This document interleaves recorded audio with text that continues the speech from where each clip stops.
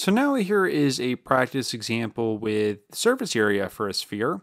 And let me give you a chance now to pause the video and try this question out. And whenever you're ready, we'll go over the answer. Okay, so just like the volume calculation, my hope is that this was pretty straightforward.